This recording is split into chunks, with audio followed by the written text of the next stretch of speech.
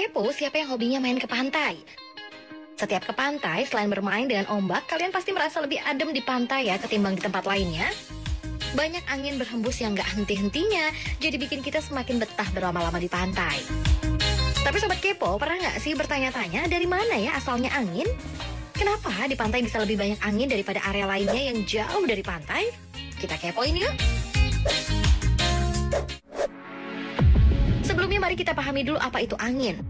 Angin adalah kumpulan molekul udara dalam jumlah besar yang kemudian bergerak. Lalu pertanyaannya, apa yang membuat udara di sekitar kita bisa bergerak? Jawabannya adalah karena adanya matahari. Ya, matahari berkontribusi besar dalam setiap hembusan angin. Jadi begini nih Sobat Kepo. Cahaya matahari membuat permukaan bumi menjadi lebih panas, namun suhu di atas permukaan bumi berbeda-beda.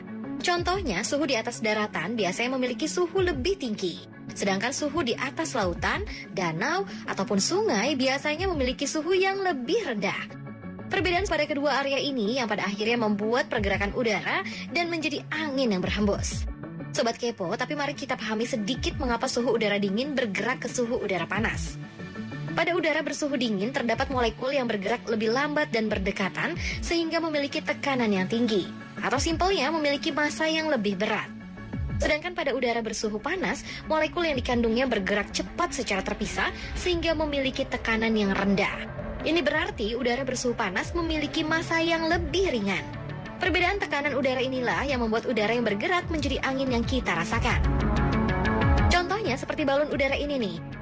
Tekanan udara di dalam balon udara yang sudah dipanaskan akan menjadi jauh lebih ringan dibandingkan udara di sekitarnya. Hal ini membuat balon udara bisa bergerak ke atas dan bisa bebas terbang ke atas udara.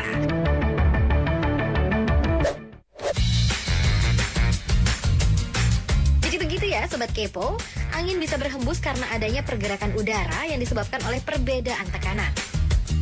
Jadi sekarang sudah tahu ya kenapa bisa ada angin di dunia ini.